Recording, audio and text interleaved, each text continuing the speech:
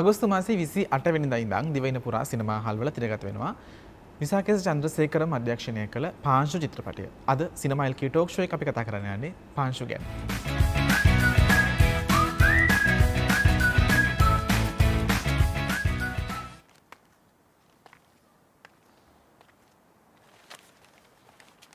දැන් මෙහෙමයි මේක වෙන්නේ. CID එකෙන් සාක්ෂි ගොනු කරාට පස්සේ නඩුව ආය මුලින්ම නඩුව විභාග කරන්නේ මේ උසාවියේ. ඊට පස්සේ නඩුව යනවා ඉහළ උසාවියට. එතනදී තමයි වැඩිකාරයන්ට දඬුවම් නියම කරන්නේ. මේක සෑහෙන කාලයක් ඇදෙන වැඩක්. තේරුණාද? මහත්තයා පුතා ගැන තොරතුරු ඔව්. CID එකෙන් ප්‍රශ්න කරද්දී විත්තිකාරයා විස්තර කියයි. ආ? මං ඒ මිනිහගෙන් අහන්නද? පිස්සු කතා කරන්න එපා. ඒකට තමයි පොලිසිය ඉන්නේ. සාක්ෂිකාරයා මරවටන්නද හදන්නේ? ආ? පාංශු චිත්‍රපටයේදී ඔබට හමු වෙන ප්‍රධාන චරිතය බබානෝන බබානෝනට ඉන්නවා පුතෙක් අසුවට අසු නමේ දේශපාලන අරගලයත් එක්ක මේ පුතා අතුරුදහන්ුවෙක් වට පත්වෙනවා ඔහු අතුරුදහන් වෙනවා. චිත්‍රපටේ කතාව ගොඩනගෙන මේ අතුරුදහන්වුණු චරිතය එක්ක ඒ චරිත රඟපාන්නේ රන්දික ගුණතිලක රන්දික අයිබුවන්. රන්දික අපි කතාබහ පටන්ගම පාංශු චිත්‍රපටය ගැන. මේ කොහොමද පාංශු චිත්‍රපටය සම්බන්ධ වෙන්න අවස්ථාව ලැබෙන්නේ? කොහොමද වට පිටාව හැදෙන්නේ? මට විසා මුලින්ම කතා කර ඔඩිෂන් එකට හරි. එක මං හිතන්නේ මම යෝජනා කරලා තිබෙන ඊටක්කයි ජගත් අයියයි ඊට පස්සේ ඔඩිෂන් එකට මම මුලින්ම ගියා. ගියන් පස්සේ විසා මට කිව්වා පොඩ්ඩක් මගේ මං ඩිග්‍රී කළේ තියට වේදිකාවේ තියෙන රංගනය පොඩ්ඩක් එනවා චිත්‍රපටියට ගැලපෙන්නෑ කියලා. තැංකිව මල්ලියාවට කියල මව යව්වා.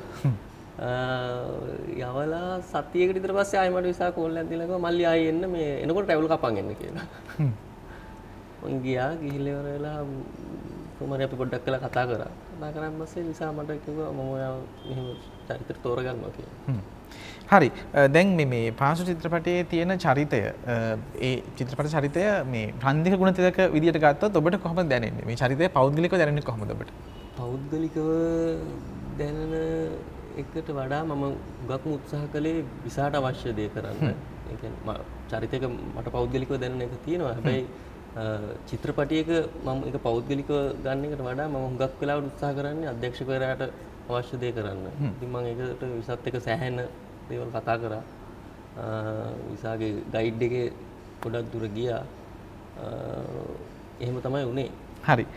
දැන් මේ අසුවට අසුනමේ දේශපාලනික අරගලය කියන්නේ ඔබට මේ පෞද්ගලිකව සමීපත්දකීමක් නෙමෙයි. ඔබ ඊට වඩා අලුත් ඊළඟ පරම්පරාව කෙනෙක්.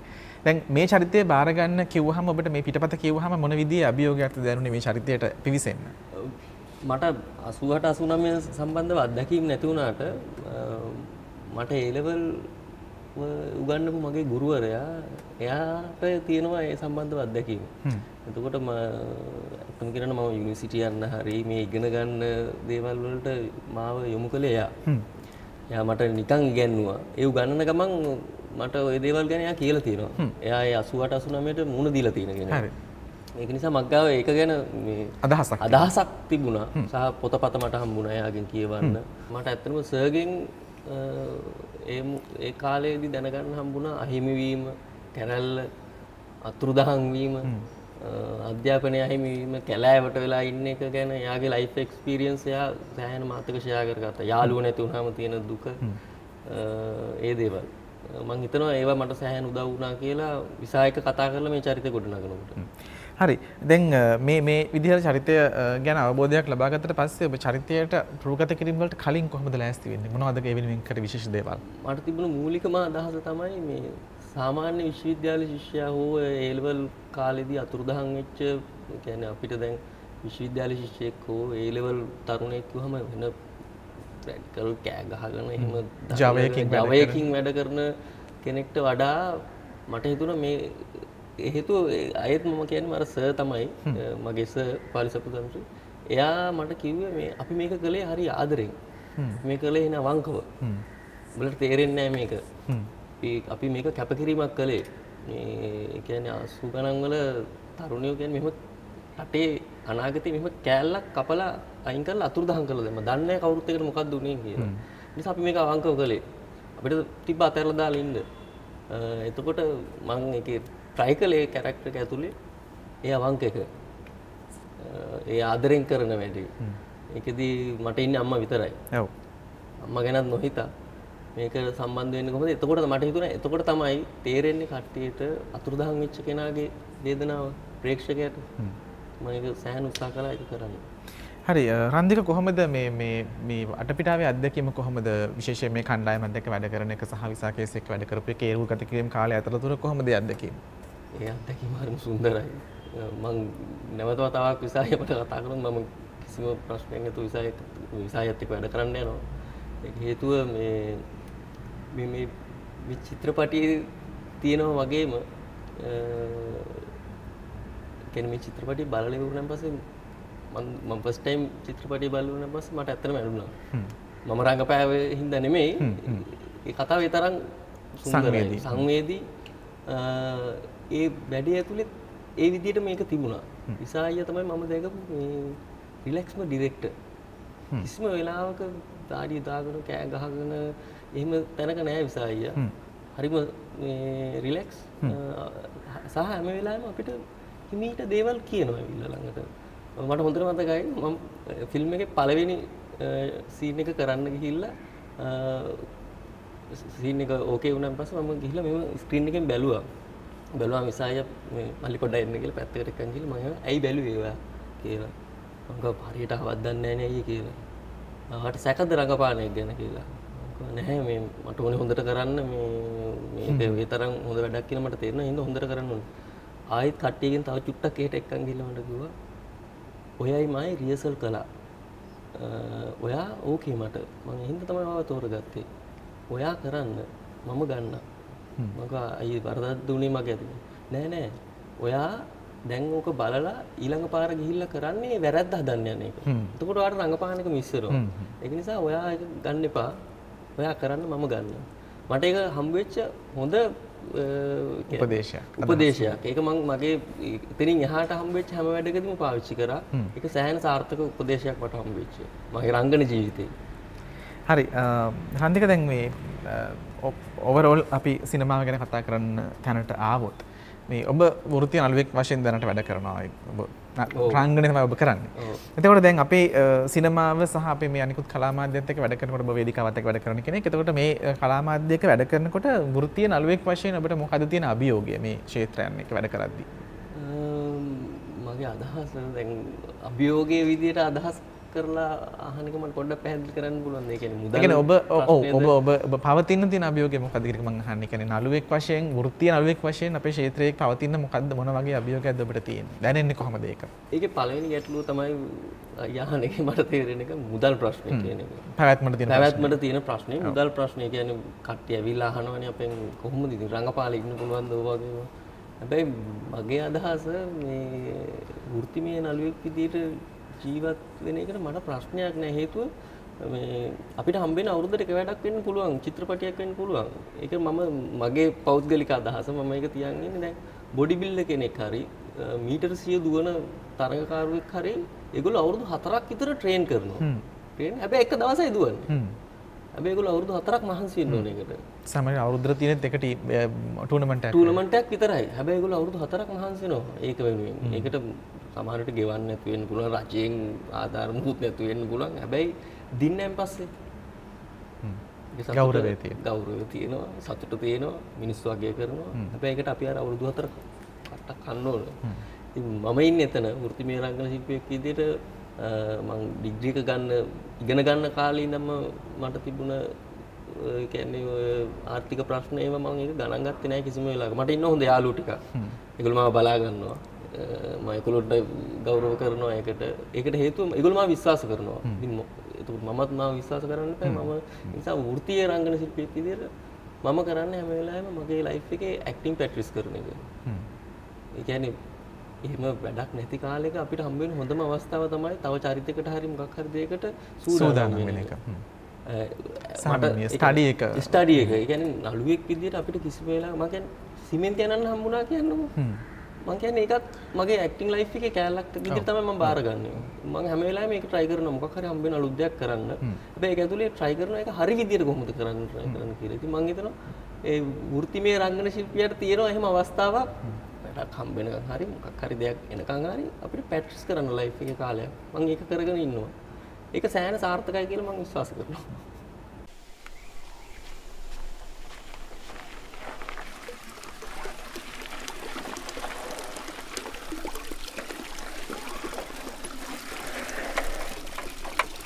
අද වයිනකන් නෑ නේද ඇන්ටි? කියන්න බෑ.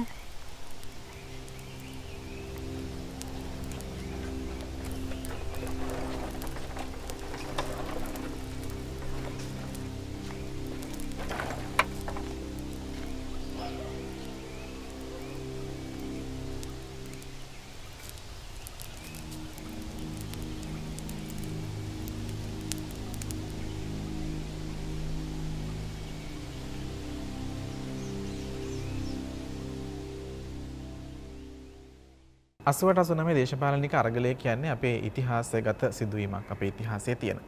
මේ අරගලය ඔබට මතක නම් එහෙම නැත්නම් ඔබ මේ ගැන අසා තිබෙනවා නම් ඔබ දන්නවා ඇති මේ අරගල සමයේදී අ, තරුණ පරම්පරාව නියෝජනය කරා මේ අරගලයේ ඉදිරි පෙළ. ඒ වගේම තවත් තරුණයින්ව මේ වෙනුවෙන් දැනුවත් කරන්න සහ ඒකට පොළඹවා ගන්න පිරිසක් ක්‍රියාත්මක වුණා, ක්‍රියාකාරී වුණා.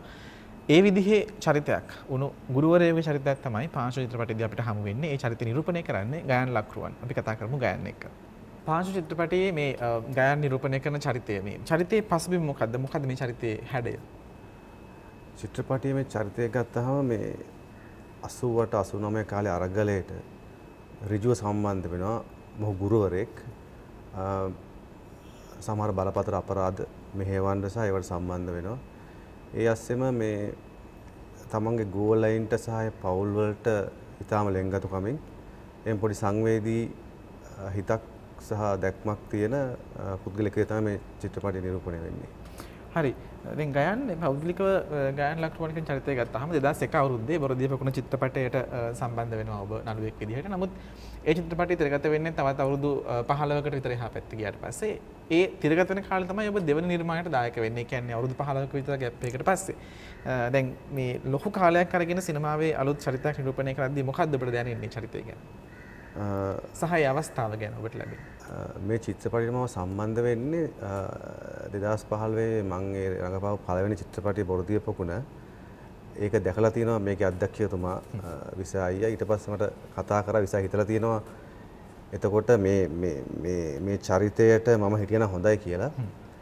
ඉතින් විසාය මට කතා කරනකොට මම විසාය ගැන අහලා තියෙනවා. සායප්‍රිති කුසුම චිත්‍රපටිය කතා බහට ලක් වෙලා ඉතින් මේ මම විසායට කිව්වා මේක කරමු කියලා ඊට පස්සේ මට තිර තිර පිටපත මට හම්බුණා මම තවත් ආදරේ වුණා මේ චිත්‍රපටියට සහ මේ චරිතයට. ඉතින් ඒ විදිහට අපි එකට එකඟ වුණා මේක කරමු කියලා. හරි ගයන් දැන් මේ මේ ලොකු කාලයක විරාමයක් ගන්න ඇයි සිනමාවත් එක්ක සම්බන්ධ නොවී? විරාමයක් කියන්නේ ඇත්තටම මේ ඊට පස්සේ මට චිත්‍රපටි වලට ආරාධ- ආරාධනා ලැබුණෙත් නැහැ. හැබැයි ඒ අතර මම මේ අවුරුදු ගාන තුල කෙටි චිත්‍රපට කීපයකට සහ ටෙලිනාට්‍ය කීපයකට අතරින් අතර රංගනයෙන් දායකත්ව ලබා දීලා තියෙනවා. හැබැයි චිත්‍රපටයක් විදිහට මට ලැබුණු දෙවනි අ, ආරාධනාව තමයි පාංශු. හරි. අ, ගයන් පිටපත කියවන්න ලැබුණට පස්සේ මේ චරිතය හඳුනාගත්තට පස්සේ ගයන් කොහොමද මේකට අ, සූදානම් වෙන්නේ චරිතයට පිවිසෙන්න? මොකද්ද ඒ පෙර සූදානම? පෙර සූදානම් කියන්නේ ඇත්තටම මේක මේ අපි ගොඩක් චරිත ගැන කතා කරලා රියර්සල් කරලා ඉතින් විසා අයත් එක්ක කතා කරලා ඇත්තටම මේ පෙර සූදානම් ගොඩක් තිබ්බා.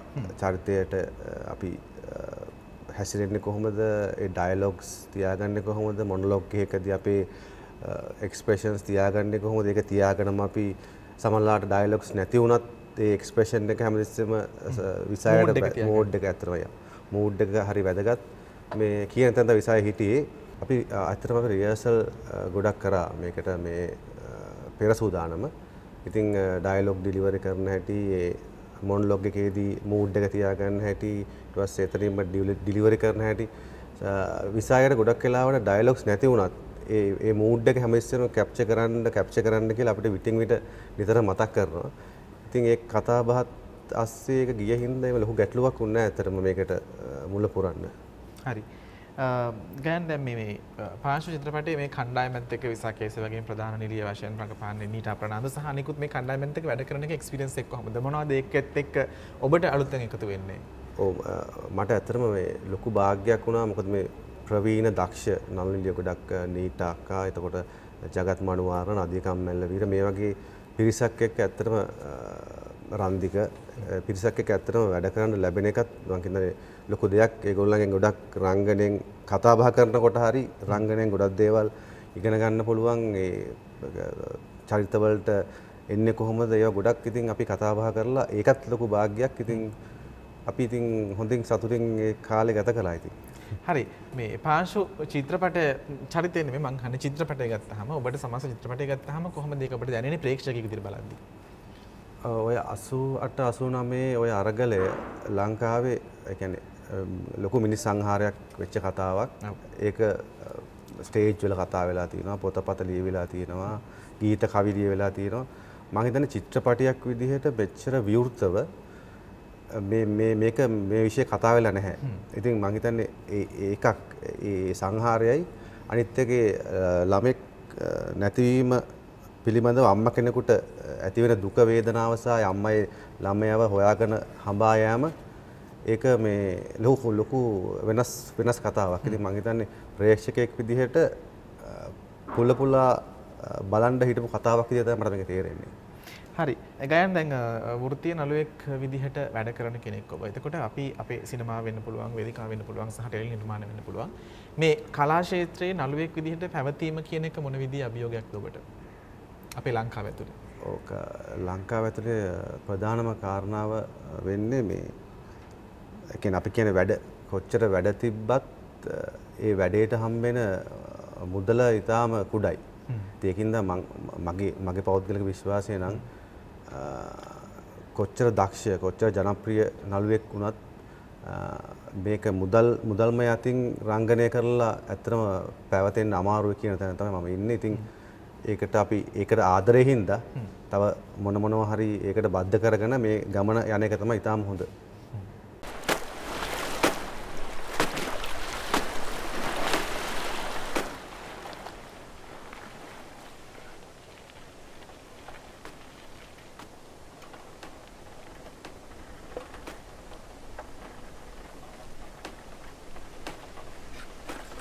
ලොකු අම්මේ ආ ටෙලිග්‍රෑම් එකක්.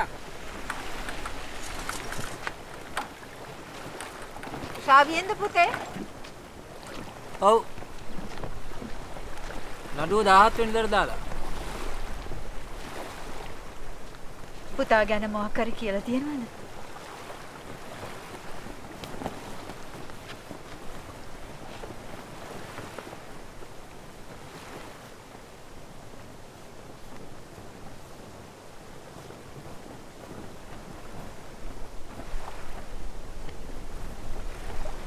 බහුසාවියට දාන්න නැතුව වැඩේ යට ගහන්න කරන්න පුළුවන් හැම එකක්ම උන් කරයි.